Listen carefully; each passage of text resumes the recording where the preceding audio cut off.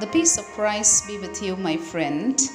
Through this story of the devil and the three monks, I would like to share an important message with you all.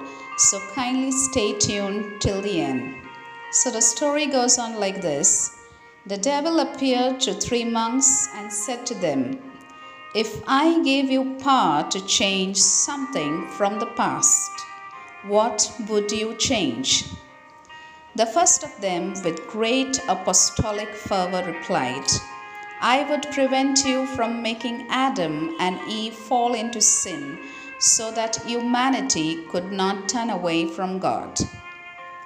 The second, a man full of mercy, said to him, I would prevent you from God, and you will condemn yourself eternally.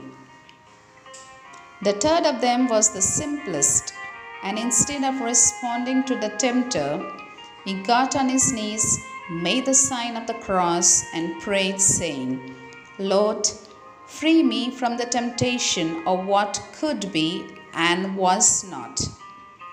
The devil, giving a raucous cry and shuddering with pain, vanished.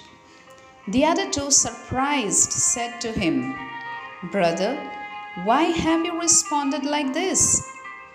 He replied, First, we must never dialogue with the devil. Second, nobody in the world has the power to change the past. Third, Satan's interest was not to prove our virtue, but to trap us in the past so that we neglect the present. The only time God gives us is grace, and we can cooperate with Him to fulfill His will.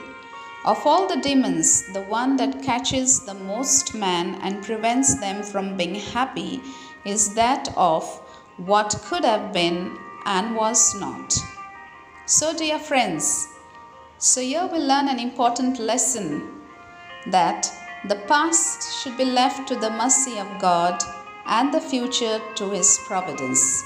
Only the present is in our hands. So, let us live in the moment.